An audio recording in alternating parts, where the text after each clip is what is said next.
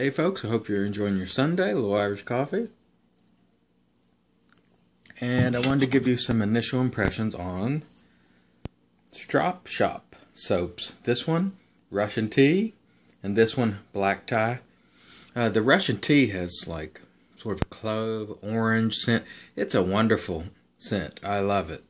And the black tie also has a wonderful scent. It's like musk, leather, um, maybe some citrus it's both of these have amazing scents. So um, Strop Shoppe's not a soap that's unknown, but I don't see it a lot in Shave of the Day uh, videos. So these two really have great scents. Let me let you have a look at the lather.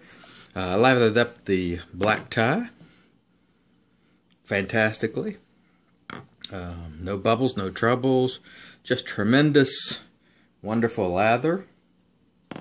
Nice and hydrated. Um, no problems whatsoever uh, generating lather with the Strop Shoppe. So this has been sitting for a while as always. No breakdown, no drying out. Uh, looking great, nice sheen to it. So I have to say the initial impressions of the Strop Shoppe soaps are quite favorable. And always I will get back with you and revisit after use. So when I do an initial impressions video, I'm just telling you about the scents, about the soap, a little bit about what I feel about the soap itself and how it lathers. Uh, I will later do a, a, video where I revisit and tell you how the actual shaves went. So, as always, I say have a great day and have a great shave.